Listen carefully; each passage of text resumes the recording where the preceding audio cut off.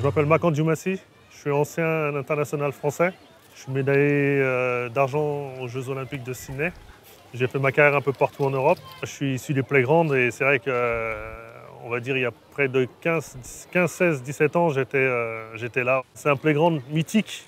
Tout le monde s'asseyait autour et regardait, regardait les joueurs évoluer. Et c'est vrai qu'il a une particularité, c'est qu'il a qu'un panier. Donc on est vraiment dans, dans la mentalité playground 3 contre 3. On est issu des quartiers défavorisés. Et c'est vrai que le basket, c'était le, sport le plus facile avec le football. Et euh, mes amis m'ont emmené sur les playgrounds et on a commencé à jouer comme ça. Le playground était vraiment un endroit où on pouvait s'exprimer. On attendait que ça pour venir, pour démontrer euh, ce qu'on savait faire. Il y avait un arbre sur la gauche euh, derrière moi. Et il y avait un joueur qui était l'arbitre, qui arrivait à shooter à travers les branches. Et à mettre les paniers comme ça, ça a été sa particularité.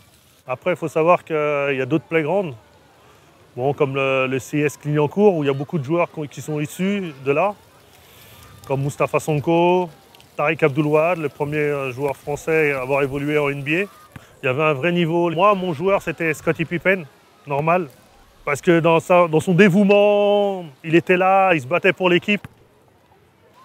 À mon avis, le basket parisien est un basket qui, euh, qui donne du fight spirit, qui donne de la, de hargne à, ce jeu.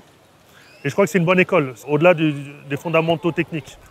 Carte Blanche, c'est une association qui, en fin de compte, euh, donne la possibilité aux membres de cette association d'avoir accès à des terrains, à des gymnases dans tout Paris, pendant toute la semaine et pendant toute l'année. Euh, donc on milite avec euh, d'autres joueurs professionnels pour vraiment dynamiser ça avec la, ville de Paris. Je crois que la, chose qui va, qui va booster vraiment le basket, c'est un titre. Et à partir du moment où on aura vraiment un titre, on va fédérer énormément. Les gens vont vraiment prendre conscience que le basket existe.